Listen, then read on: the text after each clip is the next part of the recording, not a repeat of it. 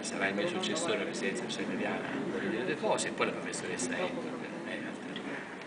Diciamo, eh, questa società si è distinta anche per aver investito sui giovani, abbiamo presentato in questo lavoro i risultati delle ricerche di giovani che sono andati anche all'estero a produrre questa scienza e che eh, sono stati finanziati dal, dalla società.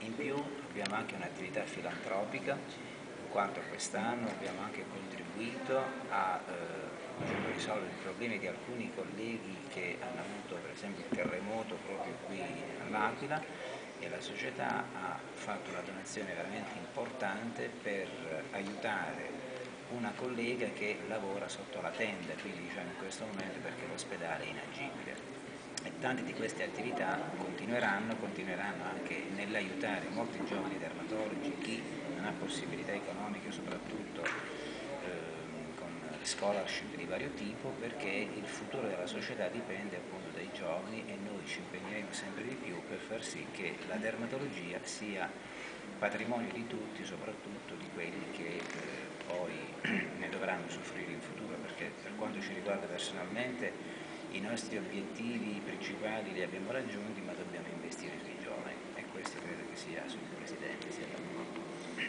Concordo pienamente e sottoscrivo. If you would like to conclude. Yes. Uh, I would like to congratulate SideWest for a very successful 84th uh, Congress and thank you for inviting me over. Thank, you very much to the organizers, especially to you and everybody. Thank you.